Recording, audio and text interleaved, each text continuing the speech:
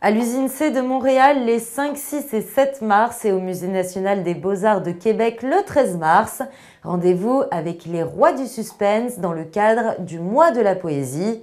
Sur scène, Pascal Murtin et François Hilfleur vous accueilleront dans leur joyeux univers footrack avec leur piano jouet. Plus d'informations sur printendepoetes.ca.